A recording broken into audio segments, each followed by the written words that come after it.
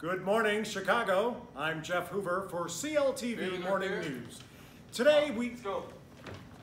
What's going on? No need to panic. We come to peace. Somebody talk to me in the control room. Who is it? Greetings, America. We need to talk, shall we? As you know, our hackers and composers have successfully cracked the Chicago Transit Authority source code.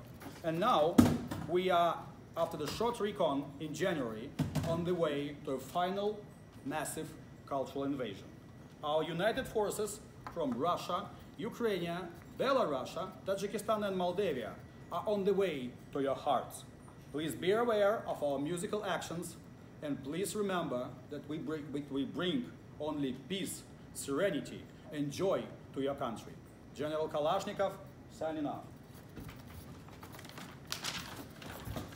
Clear to go. And now for something completely different.